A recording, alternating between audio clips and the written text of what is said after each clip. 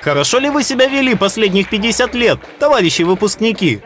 Каждому из этих седовласых и умудренных опытом моряков есть что вспомнить и рассказать друзьям. Многие из них прошли путь от простого матроса до капитана дальнего плавания. Сложно уместить рассказ в несколько минут. И все же звучали различные истории, стихи и даже песни акапельно. Помню осенней порой, падая листья шуршали, я прибыл в родной городок, где долго меня ожидали. Большинство пришло поступать в училище, не подозревая, что их ожидают суровые испытания. Сначала учебой, затем морем. В общем, все были романтики. Сюда пришли по романтике. Э, У нас не было меркантильных интересов. Вот, допустим, что я иду там за гранату. Я даже не знал, что это я буду за гранатплавание. Я просто шел на штурмана дальнего плавания. Но о том, что там есть валюта, что какие-то есть заработки. Многие тогда этого даже и не знали. Распорядок дня радовал. С 8 до 3 занятия, обед, час свободного времени, самоподготовка, ужин и спать. При всем этом требования были самые строгие, а дисциплина – железная.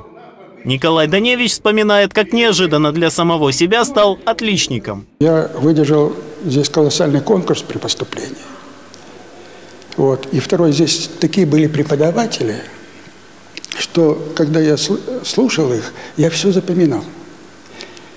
Я все запоминал, несмотря что требовали конспект. И так получилось, что я даже не знал, я окончил с отличием. Единственный преподаватель, который дожил до этой встречи, рассказывает случай на выпускных экзаменах курса.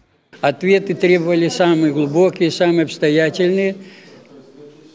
И вот начальник специальности Скрипкин Леонид Александрович заходит, как посмотрел ведомость, я говорю, вот Леонид Александрович, пятерки, четверки, некому тройку поставить. Он говорит, значит, хорошо работали, хорошо занимались. После такой учебы начинающие моряки чувствовали себя в море, как рыба в воде. А там ведь обязательно что-то да случится. Пожар в машинном отделении или трещина в корпусе. Хотя в учебе в училище были и сугубо позитивные стороны.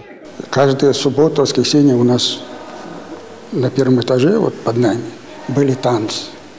Приходили девушки к нам, потому что многих нас не пускали в увольнение, там то ли тройка.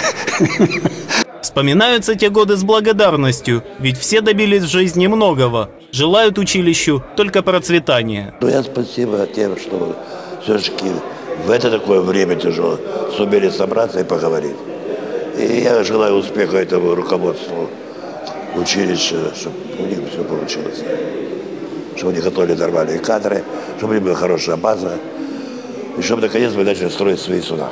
Андрей Цыганко, Дмитрий Докунов, телекомпания АТВ.